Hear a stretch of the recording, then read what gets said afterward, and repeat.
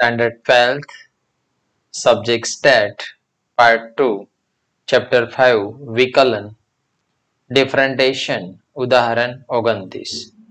તો ઉદાહરણ ઓગણત્રીસની રકમ આપણે જોઈએ. તો શું કહે છે તે જો એક વસ્તુના એક્સ એકમોના ઉત્પાદનના ખર્ચનું વિધેય સી બરાબર five X square plus six X plus two thousand છે. સી બરાબર પાંચ એક્સ નો વર્ગ વત્તા છ એક્સ વત્તા બે હજાર છે. જ્યારે ઉત્પાદન પચાસ એકમ હોય, ત્યારે સીમાંત ખર્ચ શોધો. તો દાખલામાં પહેલા તો ખર્ચનું વિધેય આપ્યું છે, તો હું લખું છું જવાબ લખતી વખતે.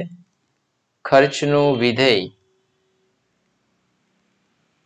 તો ખર્ચનું વિધેય સી બરાબર five X square plus six X plus two thousand બે હજાર.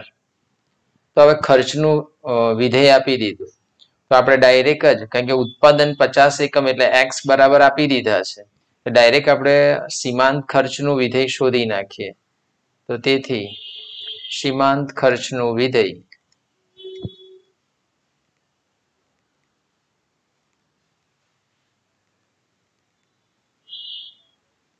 ડીસી બાય ડીએક્સ આપણે આનું વિકલન કરી દેવાનું. તો આનું વિકલન કરવા માટે ફાઈવ એક્સ સ્ક્વેર છે તો બોલો ફાઈવ ટુ ઝા ટેન પાંચ દુ દસ.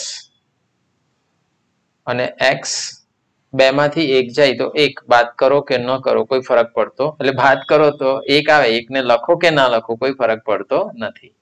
સિક્સ એક્સનું વિકલન ઓલવેઝ સિક્સ જ હોય.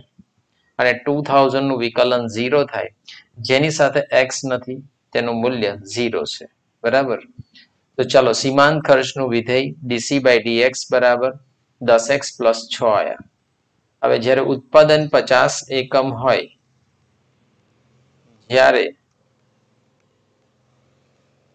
ઉત્પાદન પચાસ એકમ હોય, જ્યારે ઉત્પાદન એક્સ બરાબર પચાસ એકમ અહીં લખી દઉં છું એક્સ બરાબર પચાસ એકમ હોય ત્યારે તો એક્સની જગ્યા પર પચાસ મૂકવાનું ત્યારે સીમાંત ખર્ચ લખું છું બાજુમાં ડીસી બાય ડીએક્સ બરાબર દસ એક્સ પ્લસ છ. અહીંયા લખી દઉં છું. દસ એક્સ પ્લસ છ. તો દસ એવા ને એવા. હું એક્સની કિંમત મૂકી દઉં છું. તો એક્સની કિંમત કેટલી છે? આપણે પચાસ છે. અહીં આગળ પચાસ લખી દઉં છું. પ્લસ છ. પચાસ ગુણ્યા દસ કરીશ. તો પાંચસો. પ્લસ છ. તો પાંચસો ને છ આવશે તો અહીંયા આગળ વાક્ય લખી દેવાનું આપણે અર્થઘટનમાં કે એકાવનમો એકમ ઉત્પાદન કરવાનો ખર્ચ આશરે રૂપિયા પાંચસો છ છે. બસ આટલો જ અંદર દાખલો છે, કઈ છે જ ને એકદમ નાનકડો દાખલો છે. તો જો આ સી આપેલા છે, તેનું વિકલન કરી દીધું.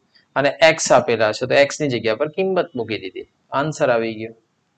તો દાખલો અહીંયા પૂરો થઈ ગયો છે. તો દરેક સ્ટુડન્ટને સમજ પડી ગઈ હશે એવું સમજુ છું. તો ઓલ સ્ટુડન્ટને થેન્ક યુ વેરી મચ